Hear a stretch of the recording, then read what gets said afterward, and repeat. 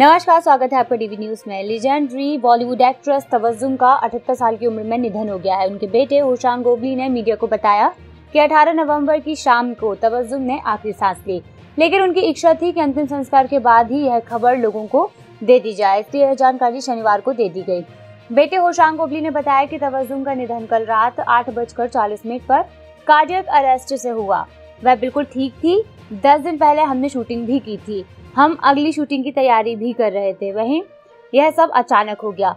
उन्हें gastric problem थी, जिसके बाद उन्हें अस्पताल में भर्ती कराया गया था। उन्हें डिस्चार्ज भी कर दिया गया था, लेकिन शुक्रवार को उनकी तबीयत बिगड़ गई और उन्हें दो मिनट के अंदर दो कार्डियक अरेस्ट आ गए थे।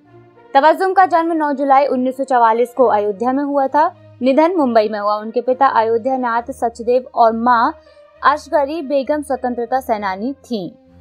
तीन साल की उम्र में वे पहली बार स्क्रीन पर आई थी। तबजुम में फ़िल्म दीदार में नरगिस के बचपन का किरदार निभाकर दर्शकों के दिल को जीत लिया था। और भी खास खबरें जानने के लिए जुड़े रहे डीवी न्यूज़ में।